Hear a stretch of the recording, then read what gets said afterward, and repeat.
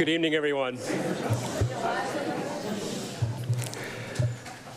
Dear friends, it is my honor and privilege to welcome all of you here this evening to the inaugural Reverend Robert L. Beloin Lecture in Contemporary Theology. This comes at a historic moment in the life of St. Thomas More and in the life of Father Bob, which, as our faith tells us, changes, but does not end in death.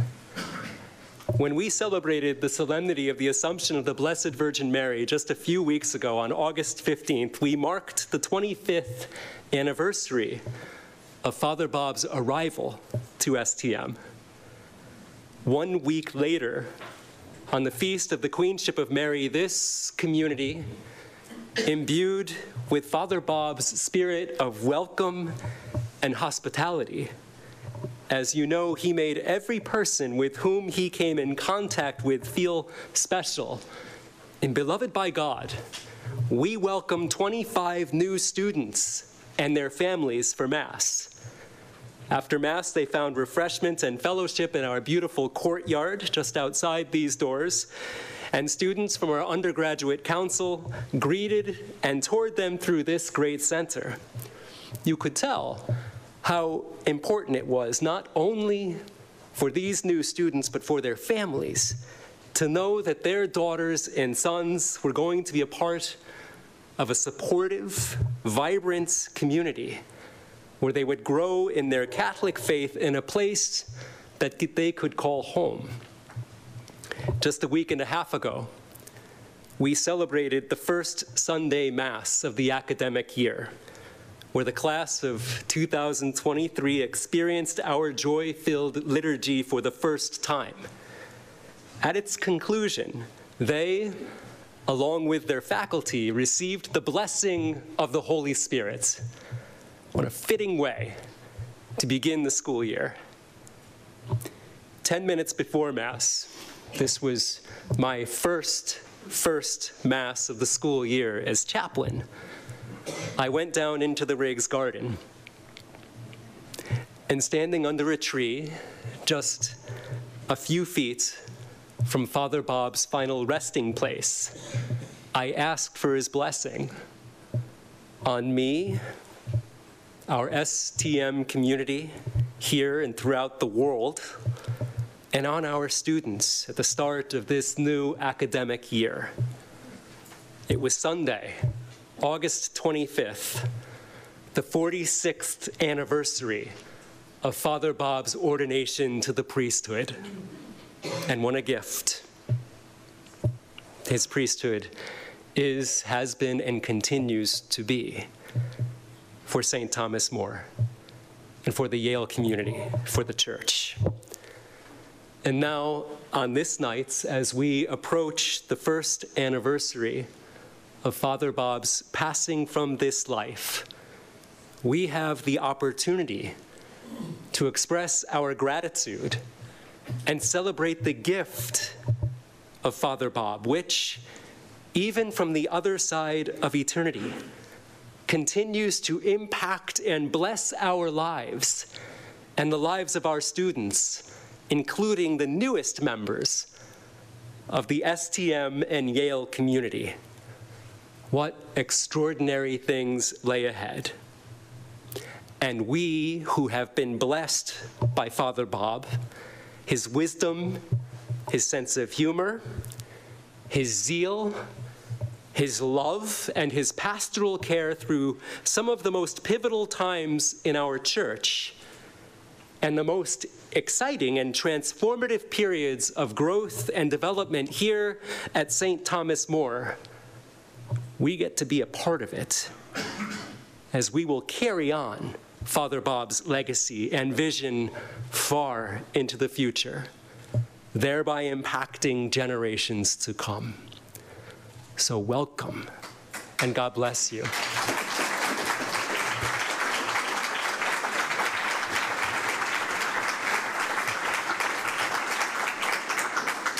And at this time, I would invite Carrie Robinson to please come forward.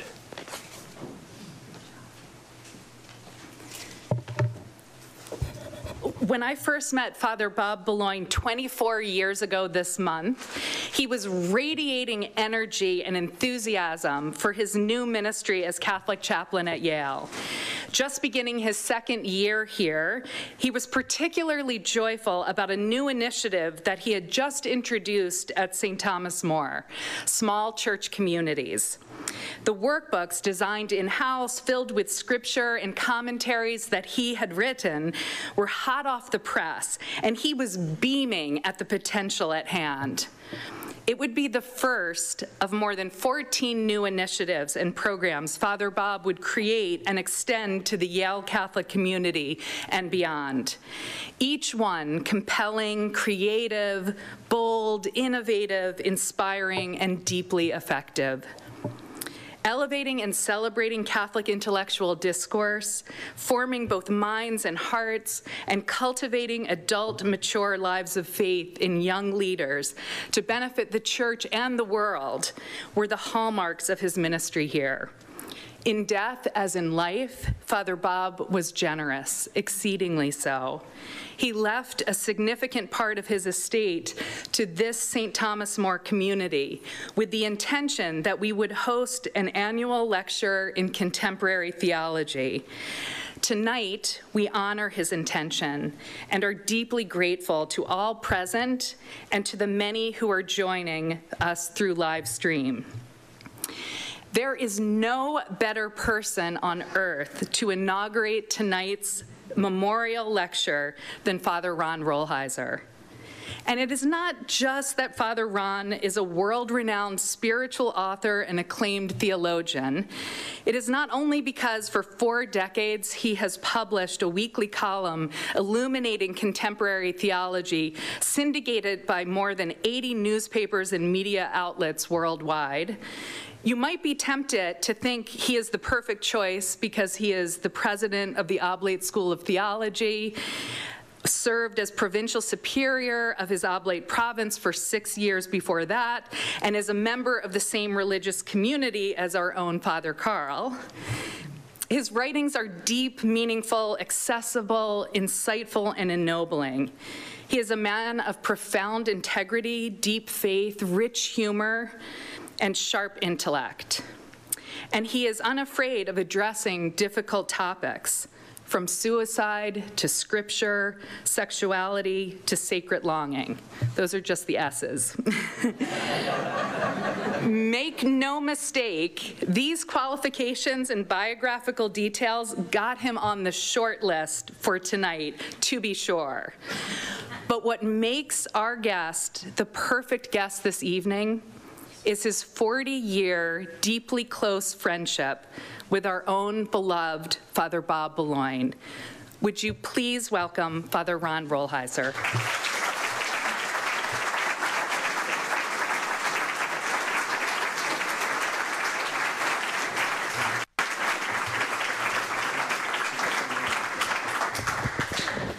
Thank you. Sounds good. Everybody can hear. Well, I want to thank people for inviting me here. This is really is an honor. And especially standing in this room, you know, if you go to New York, they still say that Yankee Stadium is the house that Ruth built. We're in the house that Bob built here. okay. And, uh,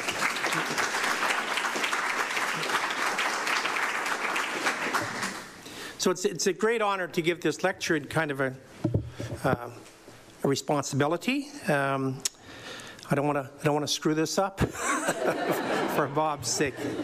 Now, the topic, and I, I, give it to you double. You have it on paper. You have it on um, the screen, and it's um, it's kind of a when you say maybe, a pretentious title: "Academics Beyond Ideology, Fashion, and Fad." Some principles for a more genuine sincerity and authenticity within our learning. We can put it much more simply. I want to talk tonight about what constitutes honest learning. You know, you're in one of the great centers of learning, and certainly in the United States and maybe anywhere, you know, um, but what constitutes honest learning? I want to do three things, two of them much more rapidly and then something at more at, at, at greater length. I want to talk a little bit about just to, the struggle to name the issue. For honest learning, then a little bit what happens when we don't learn honestly. But mostly I want to give you what I call 10 commandments for honest learning. Okay. Uh, I want to start with, a, with just a simple little story. But I used a story that I call for a hermeneutical key. Hermeneutical, hermeneutical key is like the, the overture at an opera. Kind of gives you the opera in, in, in, in, in, in two minutes. Okay. It's a simple story. When I was a graduate student, just the year I was ordained, and I was still doing some seminary studies, but I was also doing some graduate work in psychology at the University of Alberta. And I'm in this graduate class, and we're all young, sophisticated people, um, showing off how smart we were. okay. And we had a great professor, it was a very good course. But about halfway through the semester one day, a young Franciscan in class asked a question, and the question just stunned me. Not because it was so deep, because it was honest. This young man actually wanted to know and I realized the rest of us, we don't. we're showing off, we're, we're, we're, trying to, you know, young people speaking, whether this rings true and so on. We weren't really there to learn. And we weren't really there to actually honestly search. You know, for myself, seminarian just ordained, it was like being slapped in the face. I thought, this guy's honest, I'm not. You know, well, what constitutes honest learning? Okay. Well, I'm going to begin with the struggle. Okay. And here, the, the, first two parts, I just want to do them more rapidly. Uh, hopefully, the caption kind of tells you what, what's in it. And the first I call the struggle for sincerity to truly know who we are and what we really think. You know, the word sincere. The word sincere comes from two Latin words, sine cera, which sine is without, and cera is wax. something without wax, something without makeup on, something that's just rawly and nakedly itself, okay?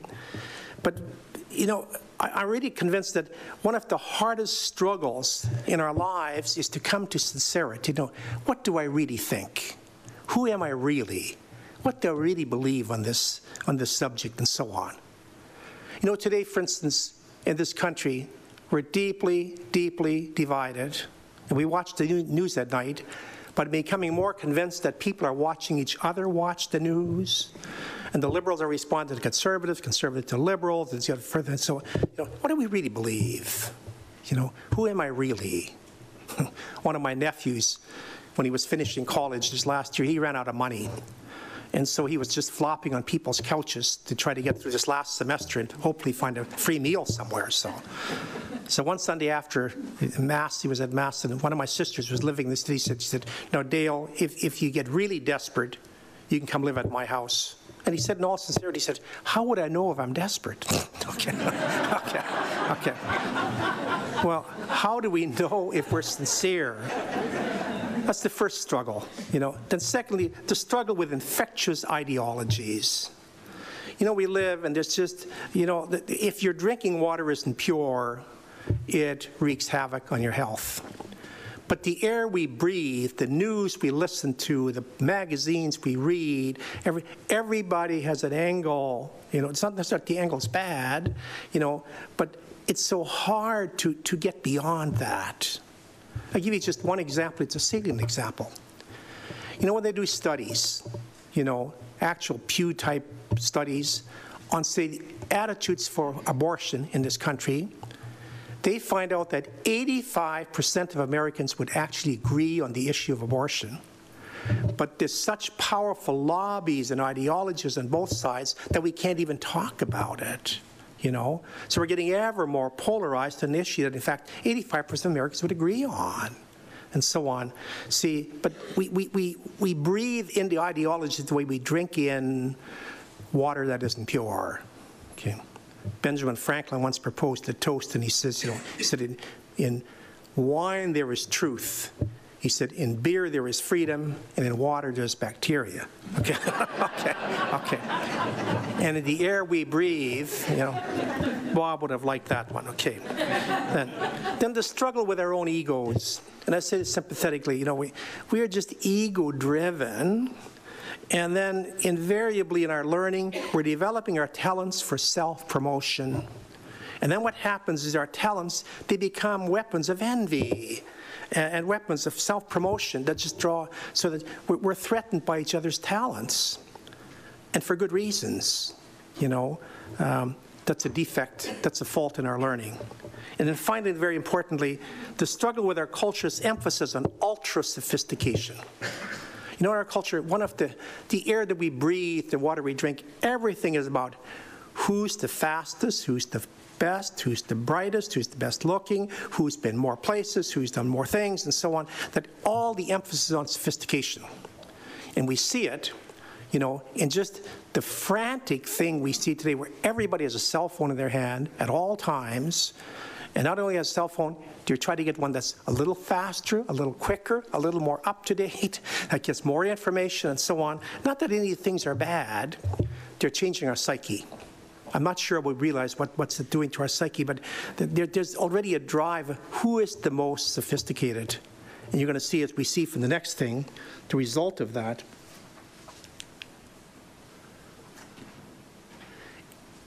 is that, that we're graduating students who are brilliant but not equally compassionate. I'm going to talk about that with the Ten Commandments. That brilliance has to be, all learning has to be linked to compassion. That all growth in intelligence, as we're growing, if it's not equally growing in compassion, we're going to be one sided. You're going to be very bright, but you won't be very wise. Wisdom, simply defined, is intelligence that's linked with compassion. So today, by and large, I'm not picking on Yale, I'm picking on everybody. You know, we're graduating students who tend to be brilliant, but not compassionate, not equally compassionate. Then also, graduating students who are brilliant, but are unable, unable to heal others. So, you know, we, we have, I've been in the academic world for a long time. And if I look at the last 40 or 50 years, we've had the most brilliant academics ever on this planet by a long shot but sometimes we can't agree on how to build a toilet you know, and we, you know, see, so we have all this brilliance, and we've done all this marvelous work on deconstruction and analysis and so on, but we can't heal anybody, and mostly we can't heal ourselves either. You know, see that, that, there's a fault in our learning. Then, a society in a world that's becoming more, that more and more mirrors the Tower of Babel. You know, it's a great story. You know, we, we as Christians, we've always, you know, really, you know, used and utilized a lot the Adam and Eve story. It's an important story. But there's about eight other stories at the beginning of Genesis, and they're all equally important. And they're all kind of archetypal stories of, you know, why the world is as it is. Okay, original sin's one story. But let me look at the story of the Tower of Babel they say in the beginning, you know, they don't say once upon a time in Scripture. In the beginning, meaning before time is the way it is now, but it explains why time is the way it is now. They said there was a town called Babel, and the town said to itself, let's make a name for ourselves. Notice why they're going to build this tower to heaven. Let's make a name for ourselves that all the other towns have to admire us. So they started building this tower to heaven. They said, and as they began to build the tower, God scattered their tongues, and after a while they couldn't speak to each other anymore. All the different languages developed, and they, they scattered to the ends of the earth, and there was no tower, and they couldn't communicate anymore. That's not the origin of languages. That is the origin of human division and so on. But notice why they did it.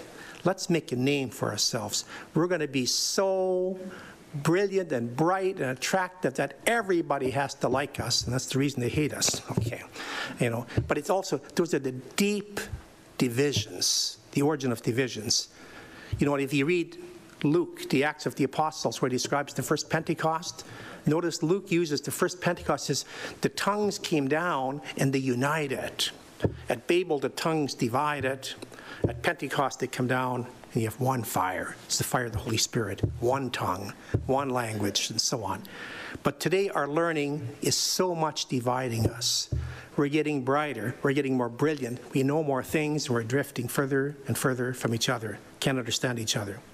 Then, deep, irreparable, um, bitter divisions within our country, our churches, and our families which all our learning is powerless to heal. You know, we do, we can heal somewhat, but you know, this country is probably more divided now than ever since the Civil War.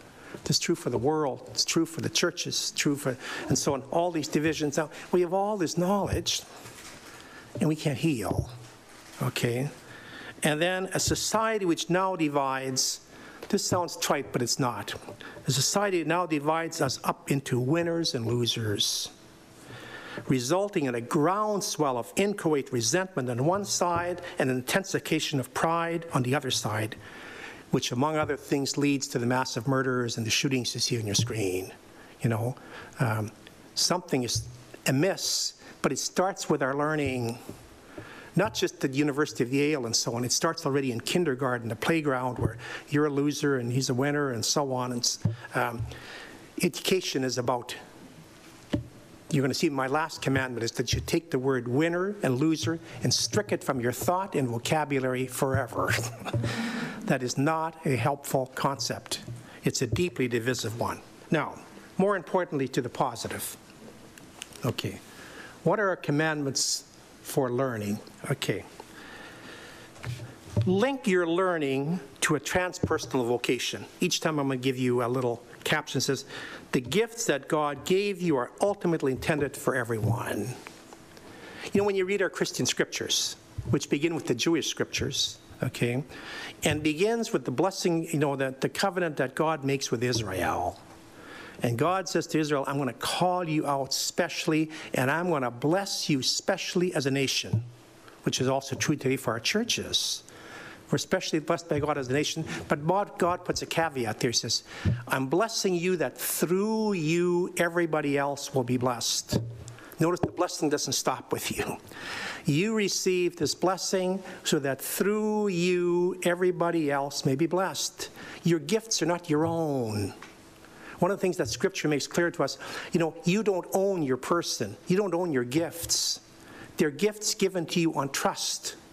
That's why the image of, of anthropology in Scripture is you're, you're the steward of your own gifts.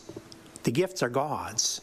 You just get to, you're supposed to be a, a good manager and a good steward and so on. But every gift that's given to you or given to me is actually intended for other people. See, but and, and that's also, that's the very definition of a vocation. A vocation is not so much whether you're in a convent or a rectory or a seminary or you're single or you're married. It's the same story. Whether you're using every God given talent, especially your special talents, for other people rather than for what makes for good life for me. And see, if, if, if in our learning, the first thing is that we link our learning and everything we're doing as what am I going to do with this? You know, um, had a commencement speaker at our school some years ago, very successful man, he said he was the first person in his family to ever get a doctorate. And he said, my grandmother came to the commencement ceremony. He said, I thought she'd be impressed. He said she wasn't. She came out and said, now what are you going to do with all that learning? said, what are you going to do with all that learning? See, the learning is never for ourselves, it's for things beyond us. Then, secondly, to link all growth in learning to an equal growth in compassion. Be wise and not just bright. You know, we have a lot of bright people in our world. We don't have a lot of wise people in our world. And what's the difference just between this person's really bright, they're really intelligent, you know, and this person's wise? One word. If your brilliance, your learning is equally yoked with compassion, then you'll be a wise person. You'll be a wise woman. You'll be a wise man. If not, you might be a very bright person and you're not going to understand why half the things are happening in our world. You'll be watching the news with some anger, and you're wondering why people are killing themselves. You won't understand your own kids, and, and on and on and on you know, so that um, it has to be linked to compassion. A little footnote here, because I know he taught here, but Henry Nouwen was one of the most eloquent spiritual writers on compassion in this last century, you know. And, um, and remember, he said, uh, if you're a compassionate person, every time you're watching the news, every time you see a mass murder and so on, you understand why it's happening. You're not saying, what in the hell is happening in our world and so on. You know why. Because you, you know it inside of yourself and so on. Um, see, if our learning is, is, is yoked with compassion, um, we become wise.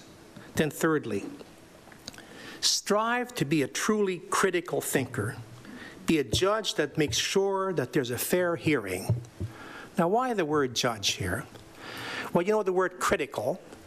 In Greek, just put a K where you have a C there. And the, in, in Greek, the word kritos is the judge.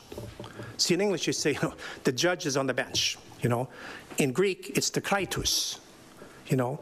And the, the, the function of a judge is to make sure there's a fair hearing. You know, the judge isn't supposed to favor one side or the other.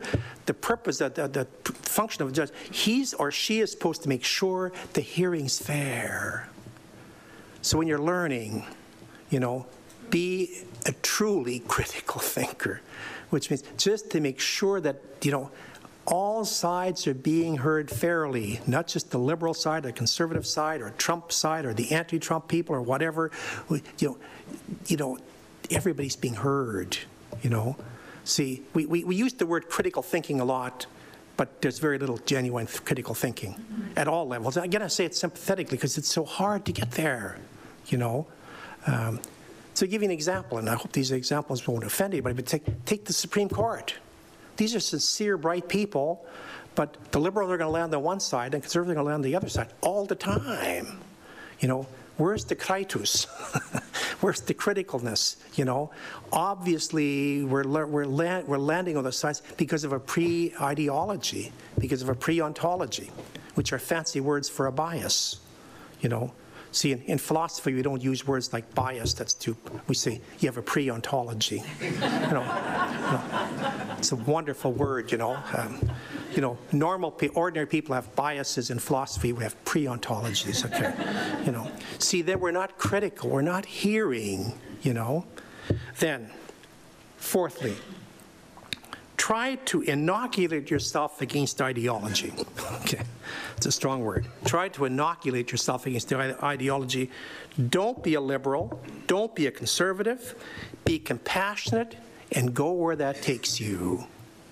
I got that last quote from Jim Wallis, the Sojourners person in Washington. You know, it says, Don't be a liberal. Don't be a conservative.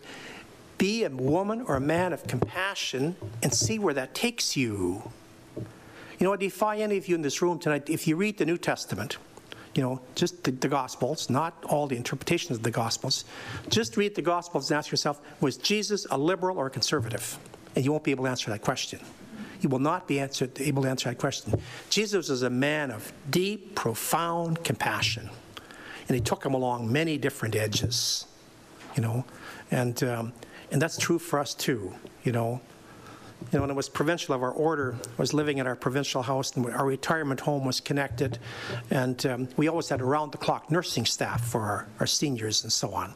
So one day, all these nurses were sitting around, they were talking, and they were talking about, you know, their Enneagram numbers, their Myers-Briggs numbers, what's your number here, this number, and they asked this one nurse was kind of quiet, said, what's your number? She said, I have an unlisted number. Okay. okay. Well, in terms of liberal, conservative, get yourself an unlisted number, you know. Be like Jesus said, I'm just going to try to be compassionate in every situation and, and with, without pre-thinking, well, it's just a liberal solution, it's a conservative solution, and so on. What's the compassionate solution? Don't be a liberal, don't be a conservative, be a man or woman of compassion. Now, fifth. Okay. Make space in your, in your learning for the non pragmatic. At its highest point, learning exists for its own sake. Um, Thomas Merton, great spiritual writer and thinker, he was once asked, some journalist asked him, says, uh, Father, Father Merton, what do you, would you define as the leading spiritual disease in North America? Now, it's interesting to ask this question. What do you think is the leading spiritual disease in this country? Okay. of all the things he might have said, you know, we lack social justice or a sexual ethos or a pampered culture or whatever. He didn't say any of those. He says uh, efficiency. He said efficiency. He said because from the White House down to the nursery, the plant has to run, and by the time you keep the plant running, there's no time or energy for anything else. We're an efficient culture. You know, it's the reason we don't pray a lot. You know, because first of all, praying is completely useless as a pragmatic activity. We're not used to doing useless things, you know, so that, um, you know, pragmatism. And in fact, American culture, the rest of the world, course, the rest that they're catching up now to us and so on, but we've always defined America as pragmatism, that the word pragmatism, they hook America to it, you know. And your great philosopher John Dewey and so on, you know, see, prior to Dewey, in European thought, truth was always defined um, theoretically. So for Aristotle and Thomas Aquinas, truth was what they said in Latin, adequatio intellectus ad re, the adequation of the intellect to the thing. See, so for Thomas Aquinas, say, if you look out there and you say there's an island, if there's an island out there, it's true. If there's no island out there, it's a mirage, you know. See, so that truth, what's inside of your head has to correspond to what's outside of your head. Dewey said, well, that's European. Dewey said, you know what's true? Truth is what works. Truth is what works. So he gave us a pragmatic definition of truth. You know, you can have the nicest theory in the world. If it doesn't cure a headache or it doesn't cure cancer, it doesn't fly an airplane, it doesn't do you any good. And that's deep inside the American soul. And now it's deep inside of the Chinese soul and the Japanese soul and a lot of other souls too. But the Americans were there first. you know, but it's so deep that we always have to be doing something, you know. Um, and see, so learning for us always has a pragmatic aim. I'm going to get a good job or this is going to happen. I'm going to learn it so I can do this other thing with it and so on.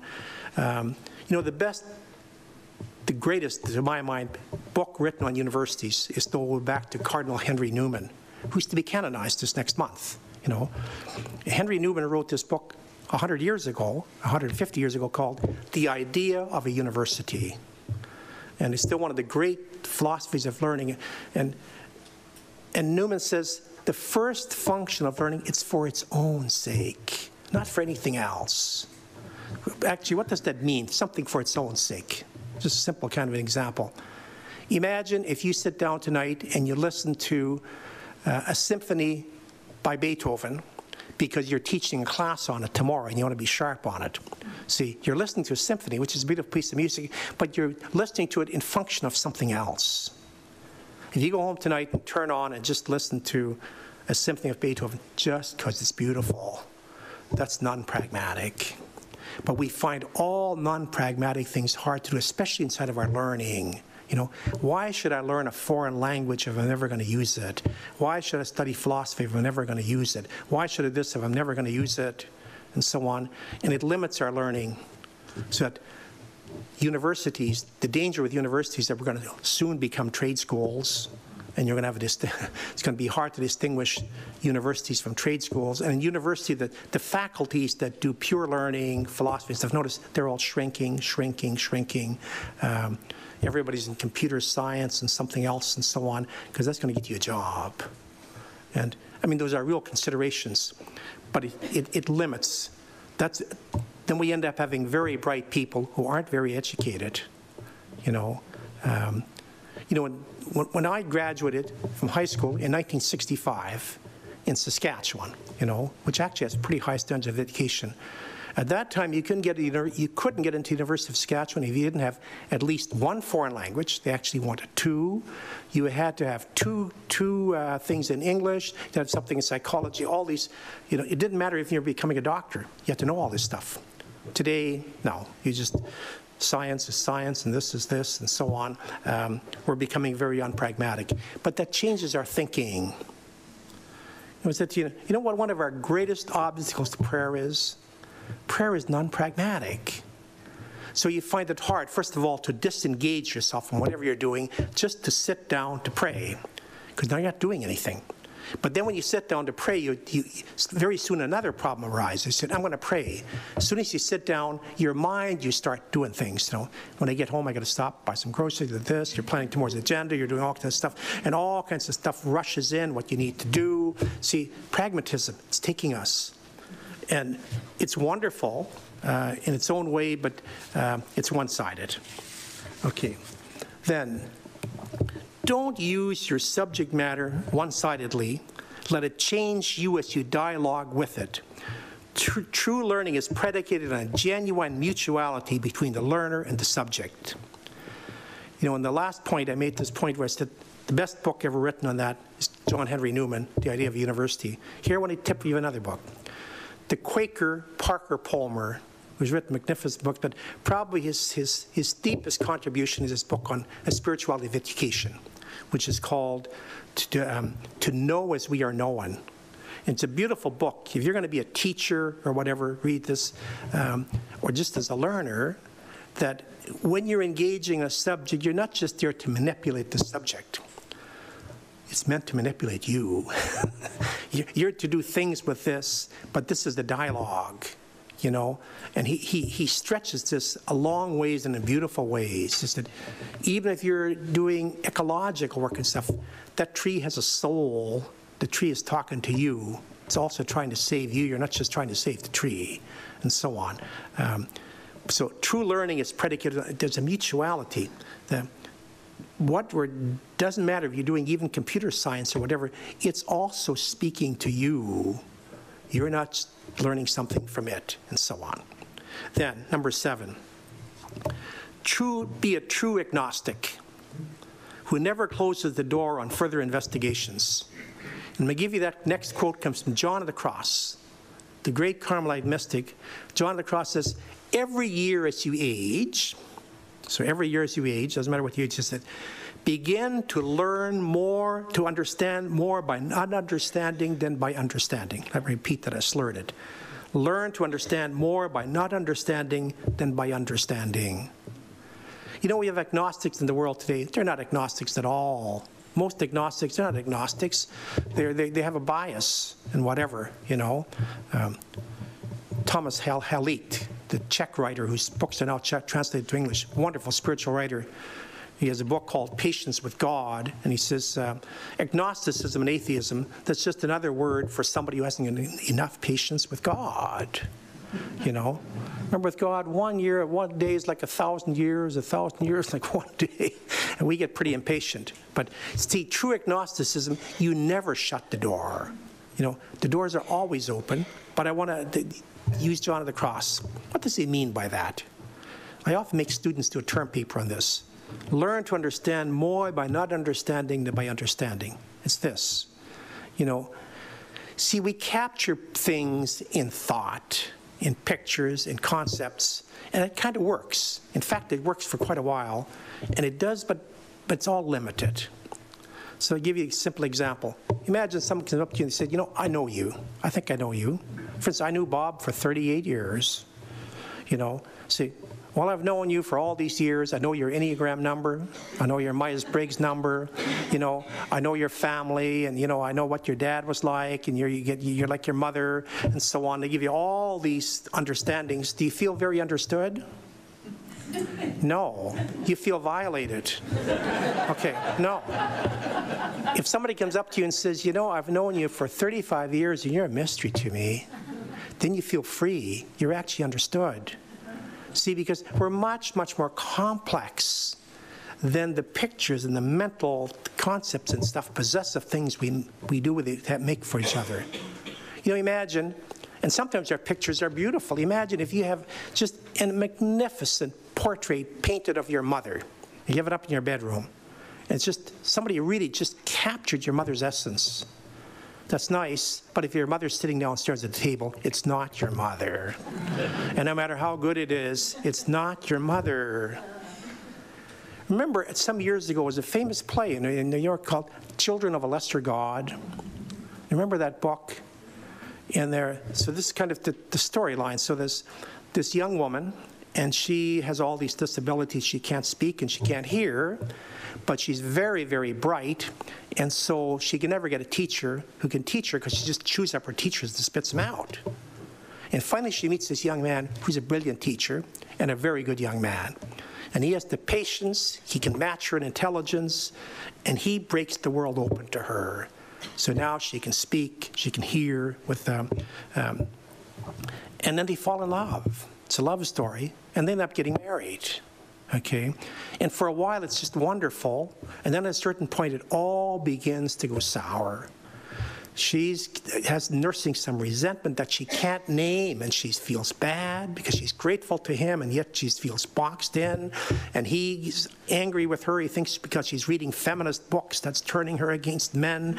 And then this thing finally it breaks their relationship. And so their last night together, she's sleeping upstairs, he's sleeping downstairs. Neither is sleeping a lot. okay.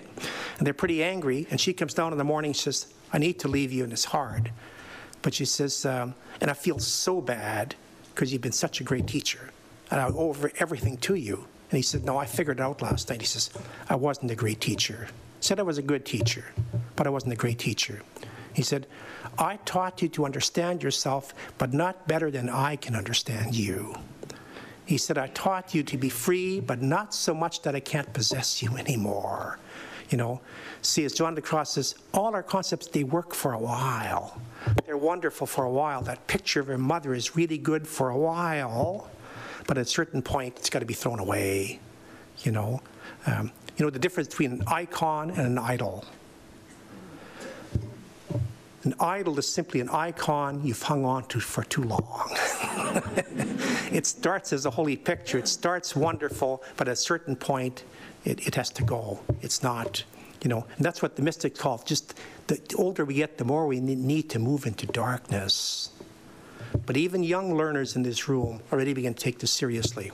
You know, this is wonderful and it's good, but, but, but, it, you know, um, it's always more and more and deeper and so on. Which ties to the next point. Um, work towards post-sophistication. Learn how to believe in Santa Claus and the Easter Bunny again. Okay. You know, Paul Ricoeur, the great French philosopher, coined an expression which I could have used here. We call moving towards second naivete. See, you're born and you're naive, okay?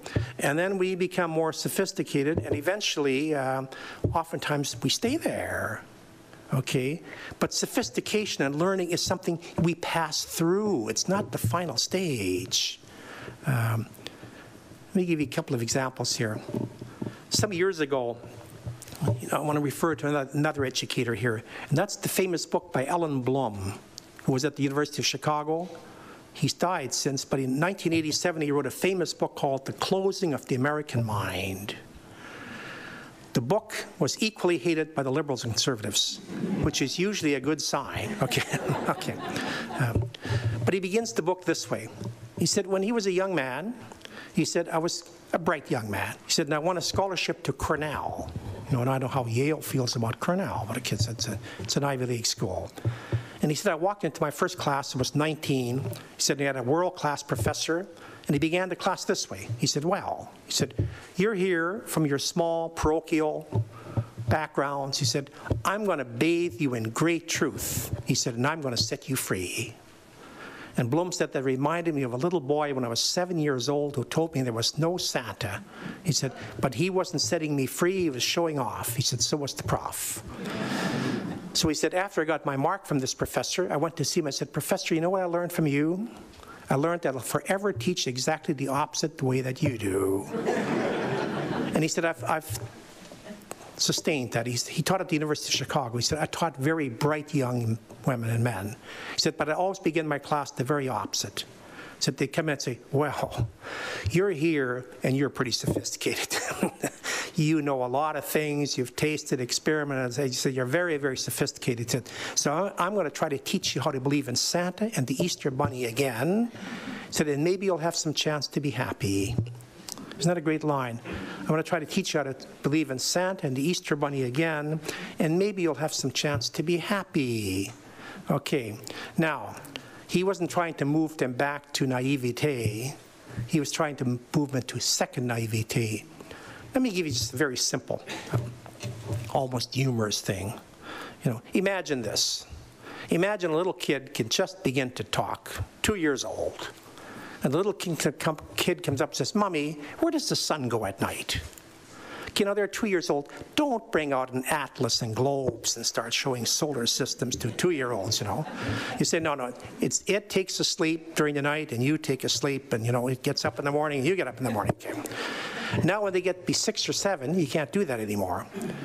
Where does the sun go at night? Then you pull out the atlas and the globes and show them the solar system and what blocks what and so on. Then when they get to 15 and 20, that doesn't work anymore either. Then you pull out Stephen Hawking's and you, and, and you teach them about, you know, the Big Bang Theory. And then after a while, you have to pull out astrophysics and Brian Swimme and walls of light and so on. And it gets ever more sophisticated. After a while, you can't understand anything anymore. And then when you get 75 years old, they say, does the sun go at night? It just takes a sleep, gets up in the morning. But notice you have to work through that, okay? And see, and that's where both liberal and conservatives struggle. See, liberals know, I mean, conservatives know the dangers of sophistication, so they're always trying to block you. Be careful. Don't learn. You're gonna you're gonna learn too much. You're gonna fall away from your faith. This is gonna happen. You're gonna become a feminist. You're gonna become this. You're gonna become that, and so on. Uh, that's a mistake. It's well intentioned. Remember, that's Catcher in the Rye. J.D. Salinger, a generation ago that beautiful book, Catcher in the Rye. We all have to read it in college and so on. He said, if I could only just take little kids and just have them in a rye field and get them fenced off so they'd never have to grow up. They'd always be beautiful, little, innocent kids, you know. But liberals no better. See, liberals think sophistication is a place where you stay. No, it's something you work through, you know. See, that you work through sophistication to become post-sophisticated. You work through that to become naive again in another way. Jesus says this very clearly. Remember, Jesus says, unless you become like a little child, he didn't say childish. You have to become childlike you know. Um, and sophistication is very, very important. So do your studies. Get a PhD from here, not from the other university, and so on. Um, and so on. Or better yet, come to our school. We have a PhD program. So learn all this stuff and learn astrophysics and everything you can learn. Um, but it's, first of all, it's to be used for others. And also, that's in the end, it's all just words when you're 75, 80, you know, retire into poetry and uh, start, you know, putting out Easter baskets and doing other things. Okay.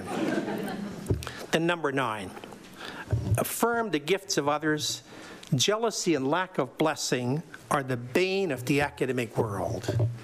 They're actually the bane of all worlds. and I always find it interesting. We have 10 commandments from God. Two of them have to do with jealousy. We never preach about them. Notice jealousy is the only commandment that gets two.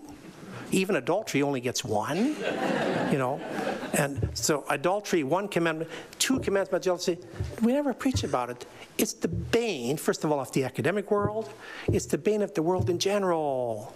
And that's why it's, it's so hard for us to simply affirm each other, even for parents to affirm their kids. You know, Daniel Berrigan, um, one of the great Christians of our, of our time, you know. But as you know, Berrigan was always in trouble with somebody, you know. Governments, bishops, provincial, superiors, authority figures, and so on. He had a wonderful job. When, when, when, when he was over 80, he wrote his autobiography. He was deeply reflective. And at one point, he says, You know something? He says, uh, My father said, My father couldn't bless his sons, myself and Philip. He said, he was always jealous of our talents. He said, it's terrible. He said, my dad simply could not bless us. He said, my mother could. He said, saved my life. He said, my mother could say, Daniel, I'm proud of you. He said, my dad couldn't say that. If I wrote a book, he'd say, Well, I should have written a book. You're lucky you got an education, and so on. He said, Is it any wonder that I've been in the thorn in the side of every authority figure? He was getting even with his father, you know. Now, he used it well to do some pretty prophetic work and so on, but he was clear enough to know that the motives, that, that he was driven other ways. You know, incident, just as a footnote, the absence of the father blessing, anthropologists would say it's probably the deepest hunger for men in the whole world. A good number of men, most men perhaps, have never been blessed by their own father, you know, and um, the wife can give them the blessing, doesn't, doesn't take that wound away. I remember that the very first year I was ordained, it was my first time I ever preached on the baptism of our Lord. You know, it's that beautiful text. We have that Sunday between Christmas and, you know, um, Epiphany and the first Sunday of the year, you know, where we have something called the baptism of our Lord.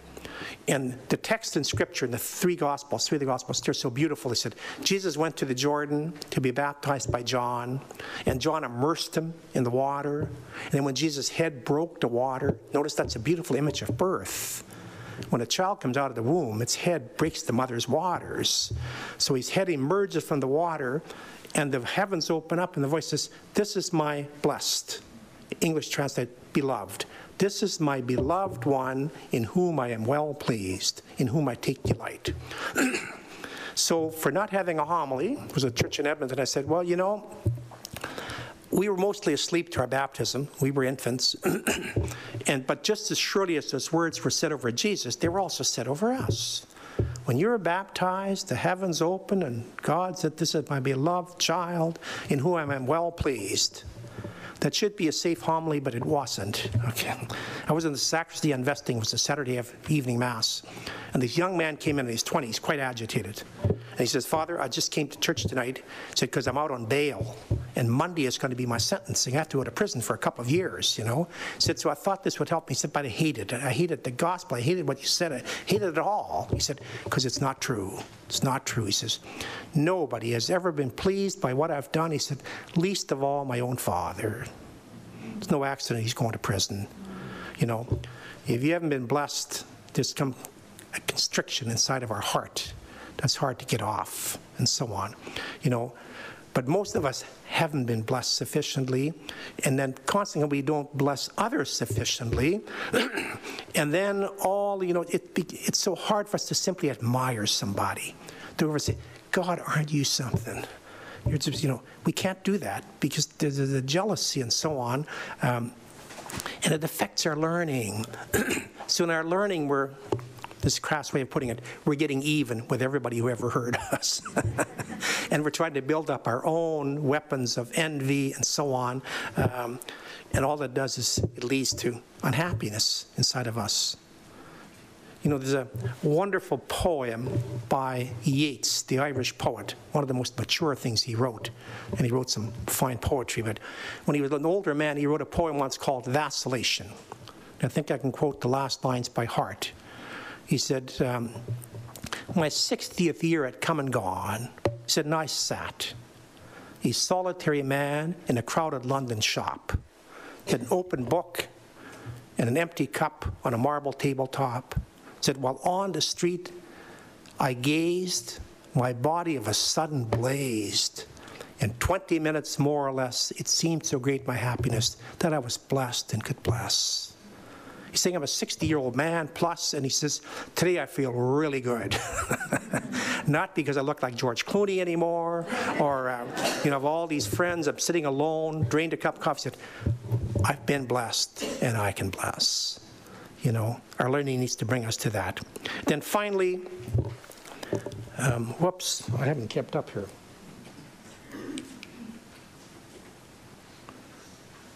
Bob would appreciate my sloppiness here. Okay. Very simply, be ever aware of creeping pride and elitism inside of yourself as we're studying, as we're learning, as we're preparing for careers, and strike the words loser and winner from your thoughts and your vocabulary permanently. You know, see, that, that, that temptation always in, in, our, in our learning to set ourselves apart, to set ourselves apart. Um, that the- and then we're winning, somebody else is losing. Notice, and scripture scholars will tell you, that is the unchristic movement. That is the opposite of Christ's movement.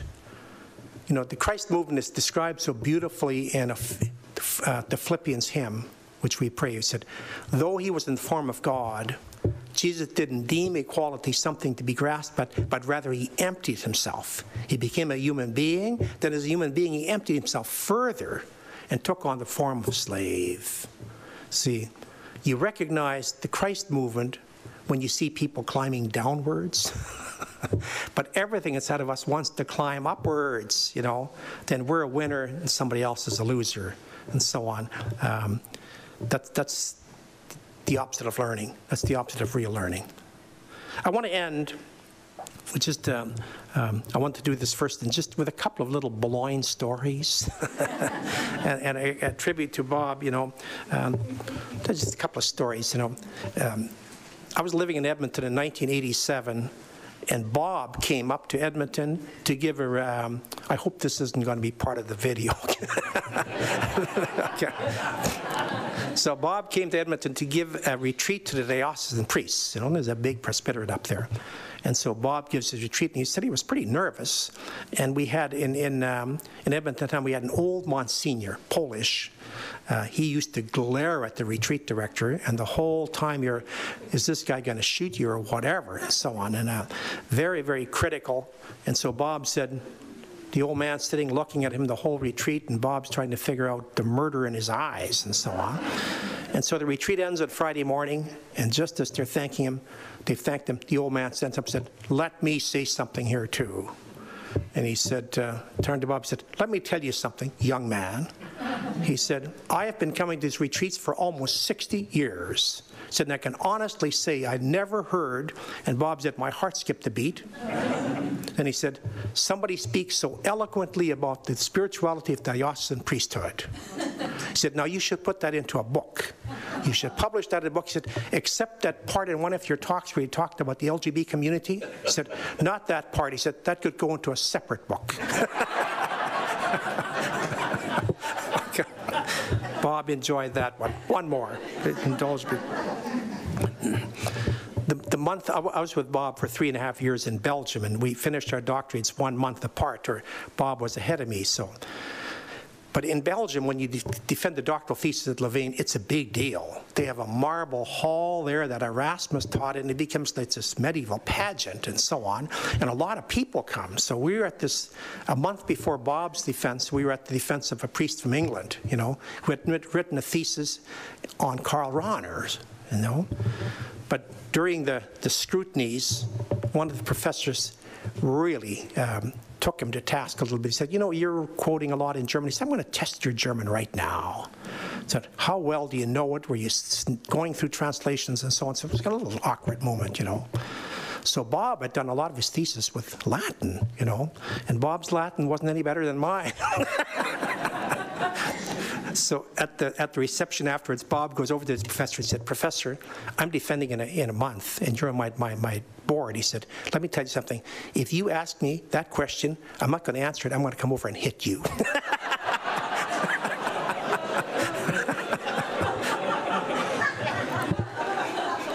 just to conclude, I, I, knew Bob for the last 38 years of his life, for nearly 40 years, and so on.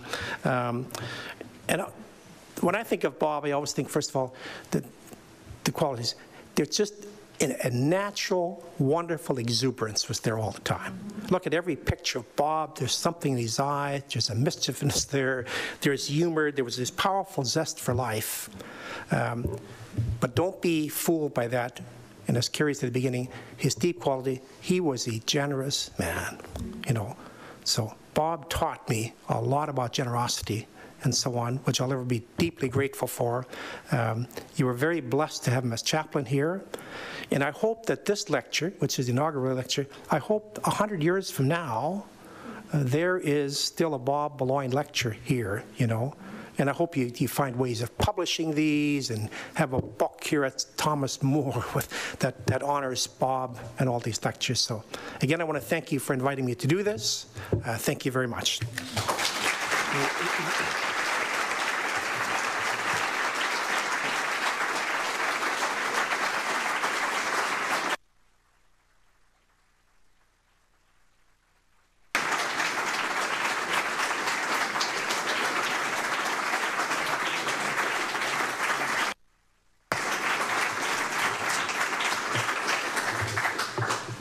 Thank you so much, Father Ron, and what, a, what an outstanding way to begin this first of a hundred years of Father Robert Beloin lectures. That, wonderful, thank you. Gave us much to think about and to pray about, and I know that uh, we're grateful that you're going to be sticking around and celebrating with us afterwards, and so any questions or conversation, Father Ron's going to be with us, so thank you. In the gospel, just before he revealed himself as the good shepherd, Jesus said, I came that they may have life and have it more abundantly. For Father Bob, our good shepherd, these words of Christ were his favorite verse in all of Scripture. And they're inscribed, as most of you know, above the doors through which we entered this lecture hall. I came that they may have life and have it more abundantly. They imbued Father Bob's ministry as a priest of Jesus Christ, and they inform our mission here at St. Thomas More. What we're about here is grounded in the mission of Jesus Christ, so that those who come here experience and are nurtured in the abundant life they receive in their relationship with God, falling in love with God, and so become, as Father Ron urged us to become more compassionate. Here they are created and recreated, indeed transformed, so as to become to become abundant life for others going out into the world as Christ's love, his hands and feet. This matters in a particular way because we're working with Yale students. The best and the brightest students in the world, if I can push the elitism just, just for a moment. the English translation of the Latin inscription over the chapel door is to the greatest God under the calling of St. Thomas More, martyr. And it reminds us of the great saint for which we are named. Thomas More was a lawyer and a jurist and eventually the Lord High Chancellor of England under Henry VIII. The S chain he wore around his neck indicated that he was the wisest and second most powerful person in the realm. More did not achieve his position because he was the holiest, but because, in part having been educated at an institution similar in stature to Yale in England, he possessed both the intelligence and the discipline required to achieve excellence. As a Catholic Christian, however, his faith and his integrity enabled him in his capacity as jurist and chancellor to seek to do good, not only for the realm, but for all, regardless of one's rank, power, or privilege. Thomas More was a saint because he lived his vocation so excellently in the world so as to emulate the person of Jesus Christ in his work. Our mission here at STM is to create and transform students after the heart and in the spirit of St. Thomas More, so that no matter where they go or what they do in the world, they will strive to do good and so become saints and how they influence it. We, all of us here, have the privilege, indeed, the moral responsibility to nurture Yale students in the abundant life of Jesus Christ because they, having been blessed, will be the ones who will change, shape, and lead this world and please God, our church, in a myriad of ways. This evening, as we look forward to STM's future, I cannot forget one more individual who, like St. Thomas More and Father Bob, directed his vision toward the creation of the community we are so proud, so grateful, and so indebted to preserving for generations of Yale students to come. I personally draw tremendous hope and responsibility in the visionary words of Father T. Lawrason Riggs, our chapel's founder, whose eloquent case for support in 1937 reads as relevant today as it did 82 years ago during the campaign to build More House for Yale students. And I quote, they need to grow in the faith rather than merely keep it, to learn more and more of the significance of their Catholic heritage, to look upon their religious education, in short, not as completed by their learning of their childhood's catechism, but as never ending and as calling for special effort while they're developing intellectually in other ways. End quote. With that, my friends, I invite you to join us in STM's long tradition of nurturing Catholic life on campus by introducing the Reverend Robert L. Beloin Faith in Action Fund. At this time, it is my privilege and honor to welcome Harry Attridge, the chairman of the STM Board of Trustees, to please come forward.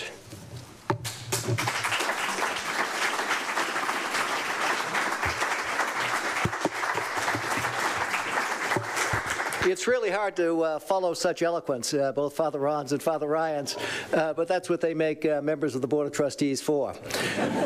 so uh, I just want to say a word or two about uh, what Father Ryan has just announced. That is that we're in the process of starting a new campaign to support the efforts of St. Thomas More, the Father of Bob Beloin Faith in Action Fund.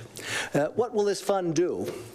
It will do many of the things and continue to support and expand many of the things that Father Bob was committed to. The small Christian communities, uh, the soup kitchen, this lectureship, and the publications that probably will ensue from it. All of these things are things that are currently underway that Bob really uh, valued very highly and that we will support through this fund. We'll also be doing something new. One of the things that's been on the agenda for some time is to create a fund for student initiatives to enable them to put faith into action in new and creative ways a little bit like the Psi uh, Fund here at Yale, a Catholic version of that. In any case, to enable students who have creativity, imagination, and energy uh, to put their faith into action in new ways by funding things that um, will support their efforts. These um, efforts can perhaps take the, um, uh, the tack of alleviating poverty and dealing with some of the social situations that confront us here in New Haven. Uh, they could take the tack of confronting global issues uh, uh, global warming and the environment, the sorts of things that uh, the Pope has addressed in uh, Laudato Si. In any case, it'll be the student initiatives uh, that will take the, uh, the lead in this. Uh, and these uh, initiatives will also uh, need some new housing. As you might have noticed, we're in the process of renovating Lynwood Place right next door. And some of the funds that come in for this um, Father Beloin initiative will provide space for the students and the support staff that are engaged in these programs. How can you help? You know, you know the motto study, act, or study, pray, and act. Where are you going to study? Well, you have something on your chairs, and this is uh, a place to begin. Uh, if you haven't read it already, this uh, outlines in a brief way some of the things that are going to be undertaken by the Father Bob Beloin Initiative. If you have other questions, uh, Connor me or uh, Father Ryan or uh, Margaret Okashik, Margaret, are you here? In any case, any of the team will be able to give you an update on what the initiatives are. Pray. Pray every day how you can enact the generosity that Father Bob Beloin uh, himself embodied and that he taught us to, to try to follow. You can pray, too, tonight over reception uh, materials in the, um, uh, the room next door. And that prayer, too, will be in Bob's memory because he so loved receptions like the one we're going to give. and uh, finally, uh, you can act. And there are two actions that you can take. Uh, one is to receive, and um, uh, something that's available for you tonight is um, a book of Bob's sermons that has been edited and prepared with photographs in a beautiful way. Uh, the staff has done a marvelous job on this.